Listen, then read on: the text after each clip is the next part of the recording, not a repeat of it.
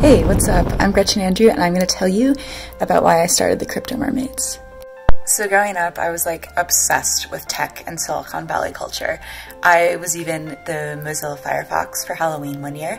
Um, I had like the zippies and like the hats and uh, visited all the campuses and studied it in college and was just so thrilled when I got what was my dream job at Google when I graduated from college or like it should have been my dream job, but things didn't really go as planned.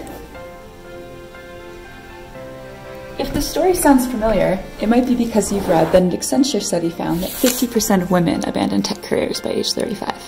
Or it sounds familiar because you've seen The Little Mermaid, possibly the new one. So I decided to leave tech and become an artist because unlike Ariel in The Little Mermaid, I was unwilling to give up my voice.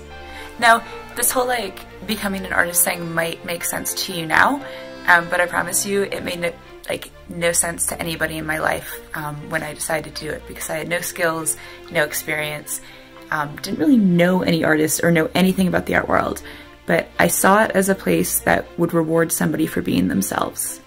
Changing technology and the demographics of people who benefit from it has always been part of my mission. Whether I'm hacking election results on Google or reappropriating Facebook tracking software, I've always wanted my art and my art practice to be a place that changes the story around who technology is for and by. And so my studio team and I created the Crypto Mermaids. The Crypto Mermaids are an open community demystifying male dominated knowledge topics. We are powered by Tezos and on FX Hash.